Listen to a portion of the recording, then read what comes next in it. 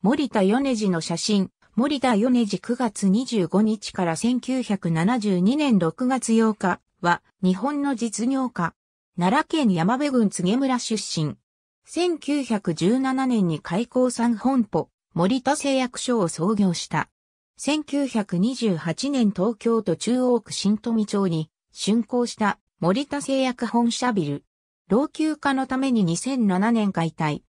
最後の所有者は、吉久や1973年に、一時は再建を果たした開港産本舗森田製薬も、石油ショックや社長になっていた、長男、森田重太郎の高齢化もあり、1998年、ライセンスを龍角散に売却、廃業した。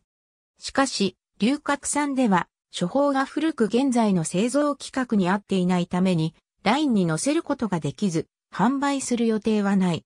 とのこと。森田米次は80歳を過ぎてから脳梗塞を数回発症。1972年6月8日、満83歳で逝去した。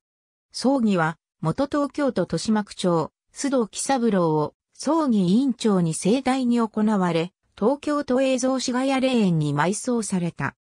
元東京都豊島区長の日々博道は、第二次世界大戦後の混乱した中で、豊島区の区政発展、特に戦後教育復興には多額の資材まで投じて、今日の基礎を築いた。